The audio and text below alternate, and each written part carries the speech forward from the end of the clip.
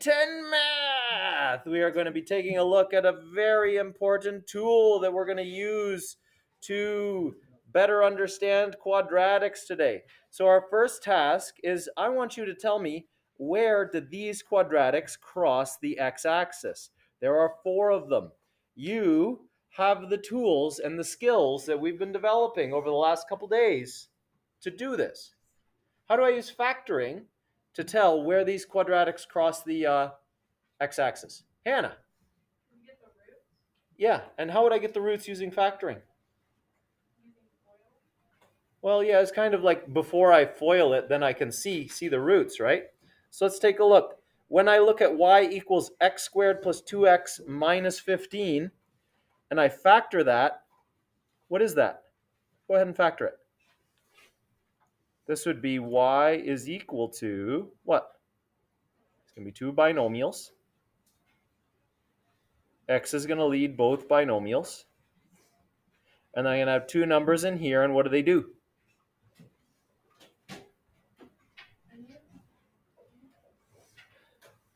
Who can see the numbers? Negative 5 and 3. Negative 5 and positive 3. Very good. So x minus 5, x plus 3. So where do those uh where does this quadratic cross the x-axis? What are the zeros? Plus 5, negative 3. Plus 5 and negative 3. So Reed remembers you got to flip these signs. The reason he has to flip the signs is if I put positive 5 in here, that will be 5 minus 5 is clearly 0. 0 times some other number over here happens to be 8, but who cares because it's just going to be multiplied by 0 anyway. And that's going to give me a y value of 0. Here's where y is 0, and that's the whole x-axis. So positive 5 is one of them. I'm going to put my positive 5 about there, calling every one of these little dots like 2. Okay, so there's 5. And then negative 3, so that would be right there. So this one, if I sketch it, it looks kind of like this. Pew, wee. Oh, I missed. And we, oh, I hit it. That was better. Yeah, something like that, right? Okay, so that's one of them. Hello, Alex. This one here, can I factor it? Will that one factor? yes. Yeah. So tell me where that one crosses the x-axis. It's going to be y is equal to, what's my first step here? Oh, wait, I thought that was a 15. Yeah. Oh, no, it's just a 5. If I made that a 15, it factors a lot easier.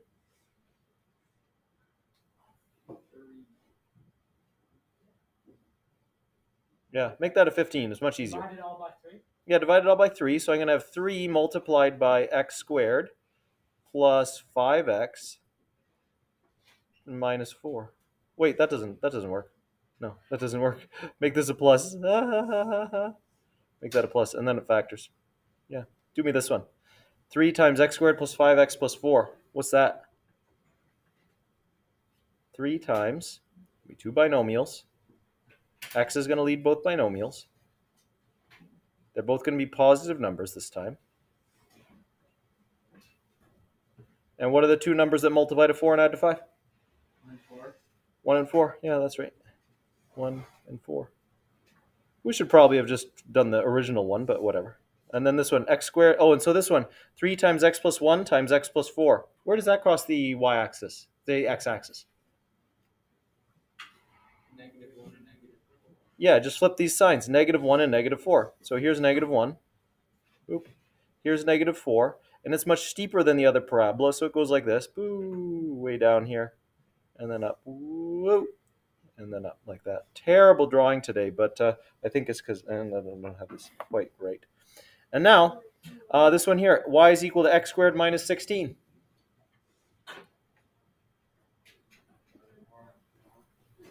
Four and what flavor of four? The other one? Great. So people are doing this one in their head. That's super. y is equal to x plus 4 times x minus 4. This is a difference of squares. Always factors this way. Very good. So here's a, a minus 4. I get that root here. x negative 4 is x, and that will create a 0. And here positive 4 is another 0. So that's there. And that will have its vertex right on the y-axis, right down here. So it turns around there and goes up. And oh my goodness, it's so ugly. Anyway, yours will be more beautiful on your page. I don't know what is happening to me today. Check me for brain damage. How about this one? Can you factor that? Can you get a number that multiplies to 1 and adds to negative 3? No. So it does not factor. But just because it doesn't factor cleanly across the integers doesn't mean it doesn't cross the, uh, the x-axis here.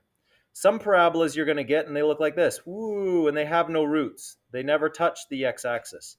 Other parabolas, like perfect square trinomials, might come down here and touch and then go up and only touch once. Okay? But this one here, let's take a look at its standard form and see what we can see about it. And I'm just going to clean this mess off. It's just terrible. It's just really bothering me how, how badly I'm drawing today. So x squared minus 3x plus 1. Where's its y-intercept? 1. So we'll call this 1 here. That's the y-intercept. Is it rising or falling as it crosses the y-axis? It's falling, and it has a negative slope of 3. So it's actually pretty slopey. Do you expect that this crosses the y-axis or not? It does, and I'll show you why. Because I know that if this is minus 2, it does factor. It would be uh, x minus 1 squared if this were minus 2. And x minus 1 squared has 1 and only one zero. And that would be at the point x is 1. Because this is even, this is diving faster, it's going to have two zeros, and they're going to be right around this one. It's going to go down below and then back up again. So uh, here, it's going it's going to look something like this. It crosses before 1 and it's going to go up somewhere after 1. Something like that. Okay? Is going to be my sketch. And that's just based on direction of opening. It's A, so it's positive. And its uh, y-intercept is still very close to the x-axis and then from that slope I can determine it's going to go down and then come up again. It will touch twice. But notice that it's touching between the integers. That's why we can't factor it cleanly with our now amazing factoring skills. We need another tool. Dun, dun, dun, dun, dun, dun. Now we will learn to solve non-factorable quadratics with real roots using the quadratic formula. Okay, so we asked you to let's let's do this one first actually. So we're going to use this one here for our first quadratic formula uh, test subject. And what we want to find is where does this thing cross the x-axis? That's important information that we get about the quadratic. And so that's going to be applicable in lots of situations. Where was the ball kicked from and where did it land? Or at what point do I make zero profit and what other point do I make zero profit? Those are interesting numbers because my maximum profit is in the middle, right? So I want these numbers. I want to be able to find them. So here, uh, let's do it. First, um, ooh, whoa, what's this? Uh, so we're going to just write out our quadratic again first. y is equal to, do I have a little bit of space? I didn't give myself any space. I'm going to do it down here. y is equal to x squared plus a minus 3x plus 1. This was the quadratic that we were looking at. And we now know that if I have a quadratic that's written ax squared plus bx plus c equals 0, not y, but 0, okay? Then this is true about x. What's true about x? x is equal to negative b plus or minus the square root of b squared minus 4ac all over 2a. If you remember the episode from yesterday of Freaks and Geeks that we were watching, this actually made an appearance. They didn't name the whole thing because Daniel got bored before she started talking about the square root. But we're not going to get bored. We're going to learn this, and then we'll never be in Daniel's situation where we're cheating on a math test and we might get kicked out of school. Okay, so um, da, da, da, let's try it. So what? This is a set of instructions, and it says if this is equal to zero, not equal to y, but equal to zero. And what does that mean? Well, yeah, this could be equal to y, but it's also equal to zero at two points. Y is zero at two points, and those are the two points we're solving for, or maybe one point, maybe one point. Okay. So now let's go back here, and we'll do this in black because we're black and black, baby. Okay, let's go up. So here we go.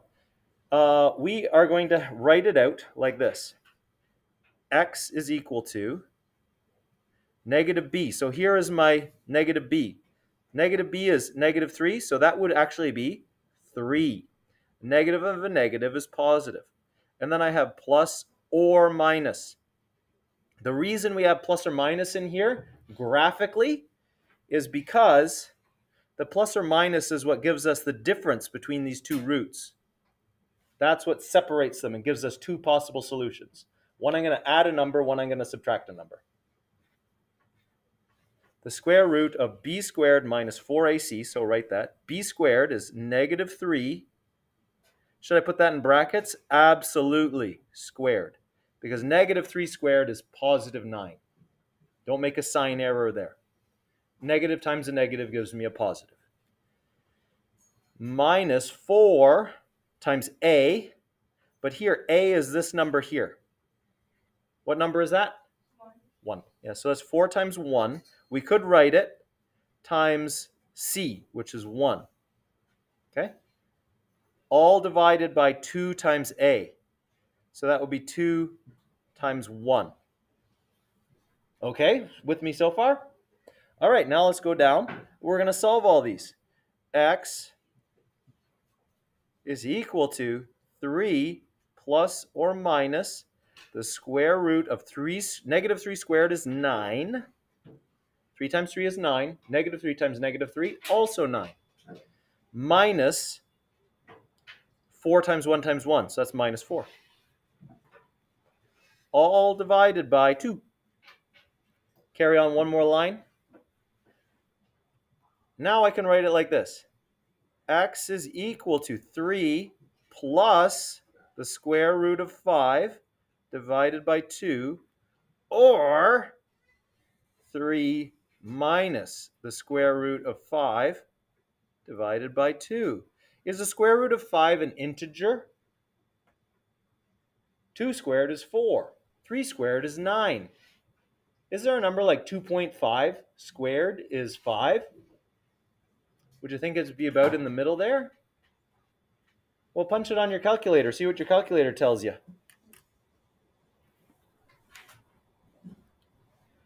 Do you know how to punch this on your calculator? Punch it on your calculator. Try it. Make sure you know how to punch this. What you got for me? Um, I just need to go now. Oh, yes. Bye for now. We'll see you later. Yeah. 2.23 blah blah blah blah blah blah blah. Right? It's about 2.24, but it's not an integer. Do you think that that decimal will ever end? It never ends. It keeps on going. If you want more and more and more detail, add more and more and more decimal places. Or just write root 5. Root 5 is a set of instructions says find me a number that when squared gives me 5. Okay? And this is why we have 3 minus something a little bigger than 2. Okay? 3 minus something a little bigger than 2 would be about, uh, you know, a little less than 1. So I have a little less than 1 over 2. So what that's telling me is this root here is a little bit less than 1 half. And then the other one would be 3 plus a number a little bit bigger than 2. So that'd be a little bit bigger than 5. 3 plus 2 and a little bit. So 5 and a little bit over 2 would be a little bit bigger than two and a half. So then I have this other root here. It's going to be a little bit bigger than two and a half. So actually it should be over here. It should be over here. It's actually goes quite deep. It's a lot deeper than I thought it would go. It goes like around there. Okay, cool. So I'm learning something from that. Yeah, it shows me something. So that's how I would interpret those two answers. It gives me two values of x. Yes, I can use a decimal approximation, but these approximations are not approximations. They're exact values. Okay? So one is not better than the other. Sometimes you just need an approximation. This one we would say this is x is equal to 5.24 over 2. And then I could evaluate that. That's uh, 2.62. 2.62. Uh, or this one is 3 minus that. So that would be 0 uh, 0.76 over 2. So that's uh, 0.3, 0.38. So those are the two roots. That's what the quadratic formula will tell me. You'd never find that by factoring, but you can find it using quadratic formula. Okay? So let's take a look at another example. Find me the roots of y is equal to 2x squared minus 12x plus 13. So you can go ahead and set this up yourselves on your page. And the first thing that I suggest doing when you're approaching problems like this is actually go ahead and write out a little box. And this is what your little box is going to look like. Get your A, B, and C correct. Because we want to really, you know, substitute these in in the right spot at the right place everywhere. What's my A? What's my B? Twelve, What flavor? negative, Negative 12. And C? thirteen. 13. Great. So there's my little box. That's going to help me factor these. and uh, by putting it into the quadratic formula. Another place where I see the most mistakes with the quadratic formula is around this negative. If you have an A or a C that's also negative, remember that this will then become addition. Because 4 times A times C, if A or C is negative, then this would be a negative number. You'd be subtracting a negative number, that's a positive. Another way to think of this is instead of thinking of it as minus 4 times all this, think about it as negative 4 multiplied by these two things and then add the result. That would be that's what I do. Okay? So, I'll write it out. This is x is equal to if you've got this already, that's great. Negative b. So what's my negative b? Positive 12. Because I start with a negative b here, and it says minus b over there. So that's what I use. Negative 12 plus or minus the square root of b, b squared. So it's negative 12 squared.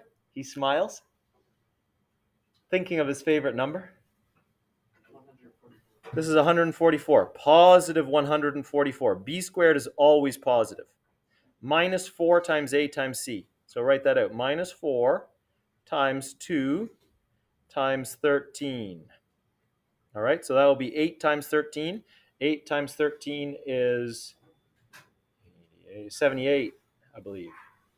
All over 2A. So you can write that out as 2 multiplied by 2. And work it out. This is equal to 12 plus or minus the square root of 144 minus 78. Or I can just do that on my calculator. If you write this into your calculator correct, it will be correct. 144 minus 4 times 2 times 13 gives me 40. Yeah, that's right. Did I say 78? Must be 74.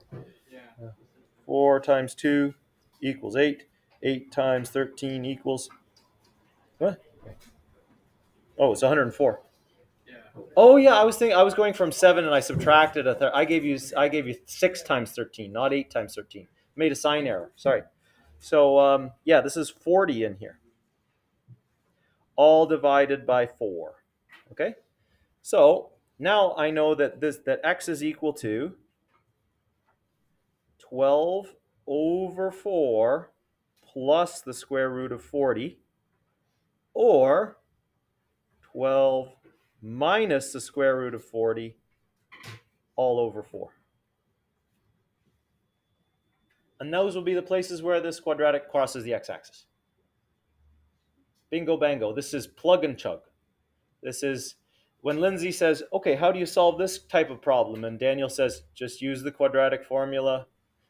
Yeah, it solves so many problems. Uh, and then she says, yes, so what is the quadratic formula? And he can't remember but you're going to remember. So how can we remember this negative b plus or minus uh, b squared minus 4ac all over 2a? Oh, look, I remember it. I actually forget it from time to time if I haven't been teaching it a lot regularly. But how can you remember it? What do we do if you have something that looks like the stuff of math nightmares? How do you turn that into something familiar? How do you turn that into something you remember? You tell me.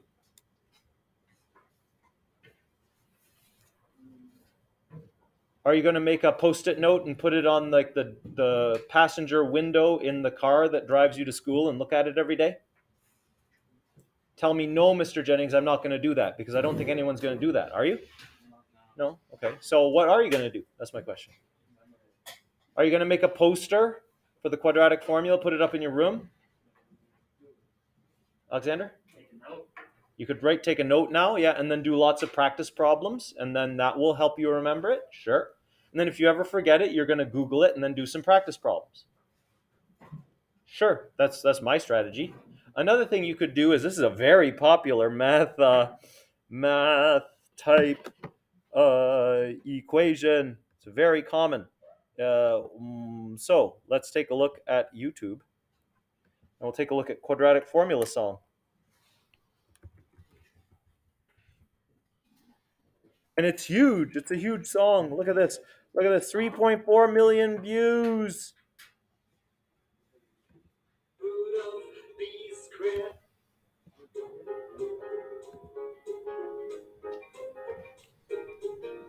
Oh, wait. I could get copyright striked if I put this in the video. Okay, so we're not going to stay with them for the key change. Uh, but uh, you could absolutely sing this to yourself in the shower, and that's going to boost your math mark. What else? You doing anything more productive in the shower? I doubt it. So let's take a look at uh, more practice problems. Oh, that's the wrong the wrong thing. Okay, here we go. Okay, and then I said we can also find the uh, roots of negative 3x squared plus 10x minus 6. Okay, uh, one thing that we could do is check. Do you think that's going to have roots or not? No. No roots for that one? Well, let's go take a look at the look at it in Desmos. Negative 3x squared plus 10x minus 6. I think I have a Desmos open already. Uh, negative 3 squared, 3x squared, plus, did I say 10x minus 6? Okay, so look, it has two roots. So yes, it will give us something when we use quadratic formula. It will output two roots. So let's go do it. So you're going to write down your equations and you're going to get her going. And I'm going to give myself a little more space. Or I could zoom in. Zoom in is better. And I'll do it in blue. Okay, so first thing I'm going to do is I'm going to say my A is equal to negative 3. My B is equal to 10. And my C is equal to negative 6. All right, so now I write down x equals negative b plus or minus the square root of b squared minus 4ac over 2a. Easy. Peasy. All right, now I substitute in. Uh, let me see if I can make this, uh, just, I want this thinner. Thank you. Okay. Now, I substitute in. X equals negative b, so negative 10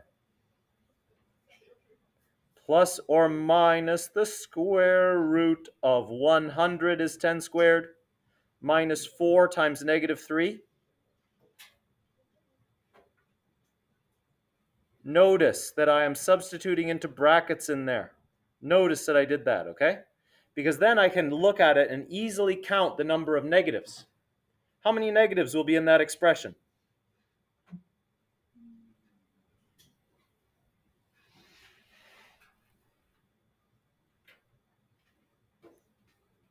Count the negatives. Pion, that one counts. Pion, that one counts. Pion, that one counts. How many negatives? Just because I ask easy questions doesn't mean you can't answer them. Are you going to make me sing again? No, I'm just Yes. kidding. Um, yeah. So uh, there's three negatives, right? So negative 4 times negative 3 times negative 6. Will the answer be positive or negative? Negative. Negative, because there is a. Yeah, there's an uneven number of negatives. There's an odd number of negatives. So, negative 4 times 3, that's uh, positive 12. Positive 12 times negative 6, that's negative 72. Okay? And we're going to have that in a second. 2a at the bottom, that's 2 times negative 3, that's negative 6. Okay? Now I have x is equal to 10, negative 10, I'm sorry, plus or minus the square root of 100 minus 72 over negative 6. 100 minus 72. Oh, I'm already out of space. Oh my goodness. So I can say, uh, I'm just going to move this over here. Forgive me. x is equal to negative 10 plus the square root of 30, uh, 28. 28 is not a perfect square, so that's why it's giving me janky numbers that are in between the integers, all divided by negative 6. Or negative 10 plus or minus the square root of 28. Oh, sorry, that's not plus or minus. I just got excited by singing. This is minus here because we already did the plus one over there. Minus 28 over negative 6. And then this gives me the two possible values of x. Those are the two roots. So that's how you use the quadratic formula. It's really just plug and chug. And it's a very powerful tool to use to analyze quadratic functions. You can even use this when they're factorable. And when they're factorable, it will output those nice integer numbers. That's what, what it will do. Okay. Ashley? How do you know if it's plus or minus? It's both. Oh. It's both plus or minus. That gives you the two possible answers. Notice that when I get to my last line, I split it up. Plus or minus. Here I do this one is plus and this one is minus. And then those are the two roots. Yeah, because, yeah, those are the two roots. Sometimes, and now let's take a quick look at the discriminant, okay? Given the quadratic equation, blah, blah, blah, the discriminant here, b squared minus 4ac. This part of the quadratic formula is called the discriminant. Let's just, let me just write out the quadratic formula near that. x is equal to negative b plus or minus the square root of b squared minus 4ac over 2a. Okay? This part in here is called the discriminant. The reason it's called the discriminant is it's the part that's inside the root, inside the radical. If it is bigger than zero, and we've only looked at examples so far that are bigger than zero. Okay? If it's bigger than zero, then this quadratic will have two distinct real roots, two roots that are separated. The reason is, I was, I was planning on this as a lesson for tomorrow, but there's the other side of this. The other part of this equation is negative b over 2a. And some of you already know the significance of negative b over 2a. Can anyone tell me what that tells me? Oh, Is the equation of the axis of symmetry yes. of the parabola. This tells me where is the vertex found. So that's a tool that I can use when I'm given a quadratic in standard form to find the exact x coordinate of the vertex. Okay? When I have the discriminant is some positive number, that means the roots here are going to be plus that number away from the vertex and minus that number away from the vertex. Let me zoom in and show you that again because there's a lot of content that I'm giving you today, but there's a lot of useful tricks and tools inside this quadratic formula. I'll introduce them now and we'll review them for this week and the next week. Uh, here is negative b over 2a. Gives me the axis of symmetry, gives me the location of the vertex. This is b, uh, this is b squared minus 4ac, the square root of that, and also divided by 2a.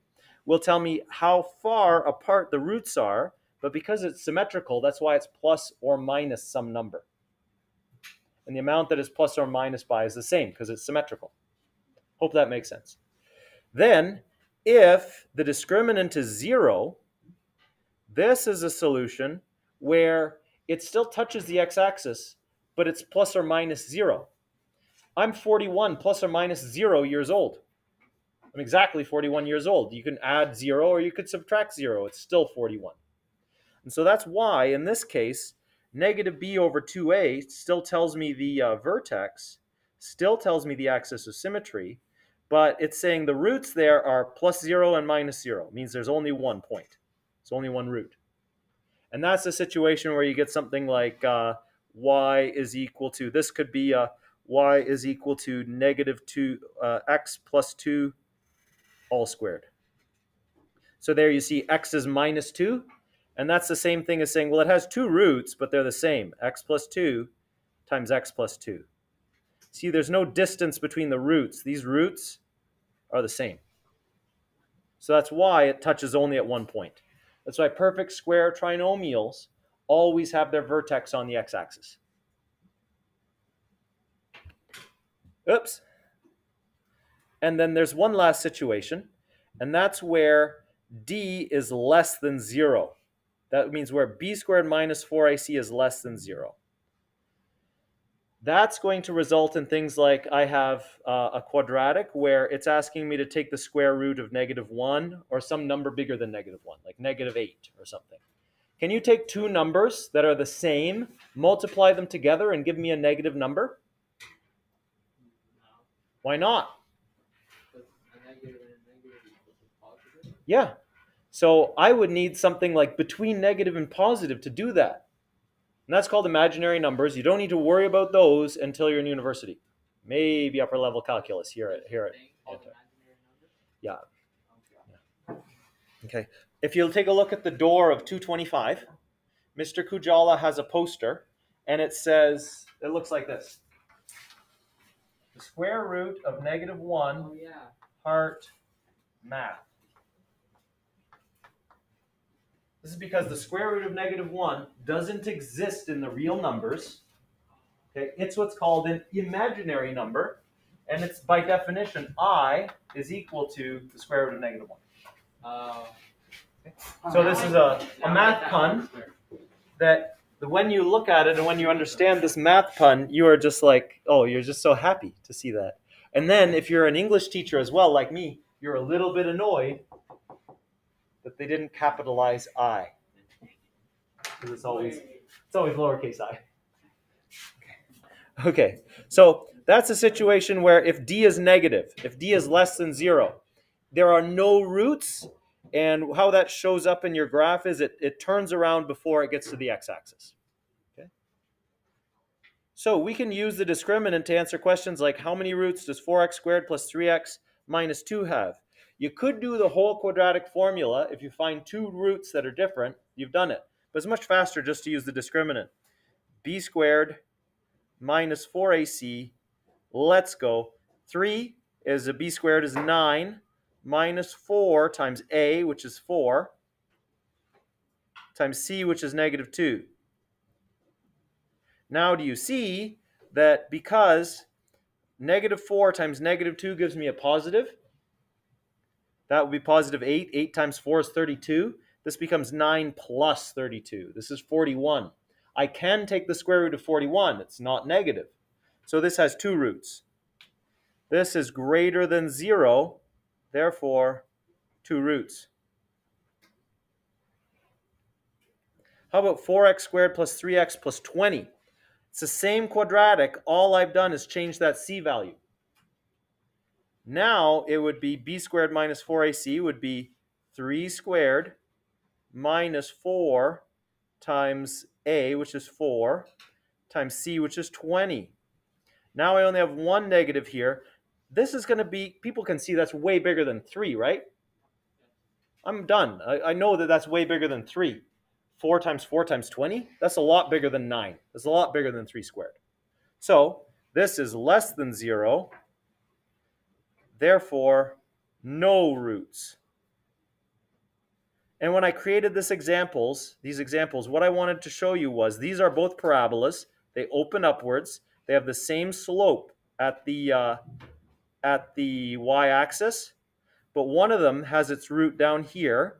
Uh, uh, sorry, its y-intercept down there. So it looks like this somehow, and the other one has its y-intercept way up there. So it looks like this. This one doesn't have any roots. This one has two. As I change c, I can get it to have two maybe one. I can find a point where there's one root and then no roots. All right, cool. So how about this one? 2x squared plus 16x plus 32. We could find out how many roots it has with the discriminant. b squared, 16 squared, minus 4 times 2 times 32. Now watch this. 16 squared, that's the same thing as saying uh, 2 times 2 times 2 times 2 times 2 times 2 times 2 times 2. Okay? It's 2 to the 8 because 16 is 2 to the 4. So if I multiply 2 to the 4 times 2 to the 4, I get 2 to the 8. Over here, this is minus 4 is 2 to the 2. 2 to the 1 is 2 to the 1. And then 32 is 2 to the 5. 2 to the 2 times 2 to the 1 times 2 to the 5 will also be 2 to the 8. If you do these on your calculator, you'll find this is 0. This is equal to 0, therefore, it has one root. That tells me this must be some kind of perfect square trinomial. Let's factor it. Um, 2x squared plus 16x plus 32. What's my common factor? 2. So factor that out. 2 multiplied by x squared plus 8x plus 16. What does this factor into?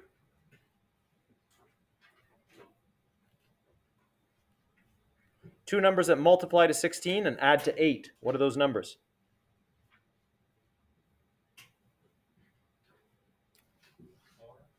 Yeah, 4 and 4. So x plus 4 times x plus 4. Okay, so that is just x plus 4 squared. It's a perfect square trinomial, has one root. All the perfect square trinomials have one root because we can show that by factoring, but it also will show up in the quadratic formula that they will always have one root. So to practice this more, look at page 30, numbers 1 and 2.